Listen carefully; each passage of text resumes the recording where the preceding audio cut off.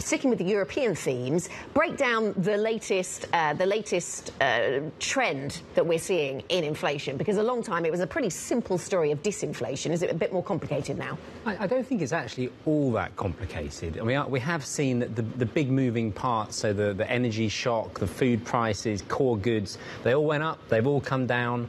Uh, what we're left with is just a little bit of inflation from some of those sources, and now it's just services inflation, which is the last shoe to drop. So, I mean, really, that, that's what we ought to be focusing on. That's what the ECB will be focusing on.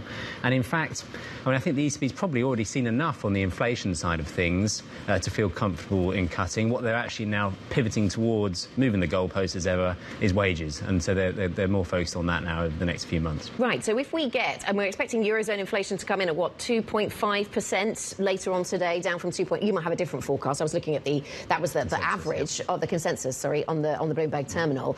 I mean, we heard from Luis de Guindos saying that what he was looking for, you know, they have to be patient until they saw a clear sign that we were approaching 2%, and then monetary policy would be adjusted. I mean, that seems like a fairly flexible definition of when you move, doesn't it? I mean, two and a half sounds like we are sort yeah, of approaching I two. I, think that's exactly it. Basically, the ECB could cut whenever they want. Mm. There's nothing in the data, really, which is preventing them from doing so. The main thing stopping them from doing it is their own intransigence. So what we need to think about as well, and you mentioned it right at the top there, was what's going to happen in the US. Will, they, will the ECB feel comfortable cutting if the Fed isn't? And I think probably the answer to that question is no. And so we should be looking at the PCE data. That is probably going to come in hot, and so it's going to be a bumpy ride. They always tell us it doesn't matter, don't they? That comparison with what, other central banks. Yeah. What, an, what an economist take. Um, Jamie, there's a concern, a, a, a, tail risk concern, a very small concern. There's going to be some sort of reacceleration of inflation in the back half of uh, 2024, potentially early 2025. Now, if you look at the Spanish numbers, they're not super hot by any measure, but they are marginally higher. I know we don't really look at Spanish inflation as kind of this canary in the coal mine, but could it be? I, I, mean, actually, often Spain is one of the good leading indicators of eurozone inflation. It does seem to move a little bit faster. But this, on this occasion, I think if you look at like the big strokes, I think what would you actually have to see for inflation to reaccelerate? Well, you need to see companies feeling so comfortable with the demand outlook that they're starting to widen their margins again. That's quite unlikely in a very low. As headline inflation has come down, they haven't got that cover anymore, so that's very unlikely.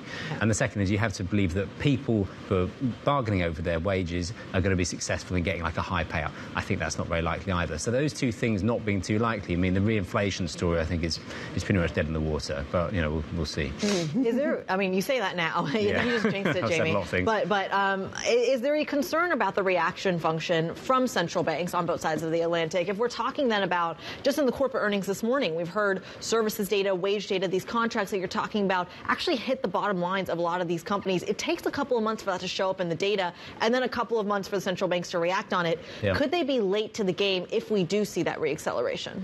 Um, well, I mean, the main thing they can do now is, if they if they are really worried about the reacceleration, is is just not cut. I mean, I think we all probably agree that policy is restrictive enough. Uh, although maybe there's some questions around that, but I don't think we're likely to see a reacceleration of, of, or re, a reignition of the hiking cycle. That, that seems quite unlikely. It's more going to be that if things disappoint, they're just going to stay tight for longer.